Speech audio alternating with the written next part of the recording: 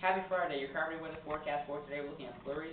Amount 2 centimeters, winds west 20, gusting to 40, high minus 2 tonight. Cloudy wind northwest 20, gusting to 40, except gusting to 60, along parts of the coast on a low minus 10.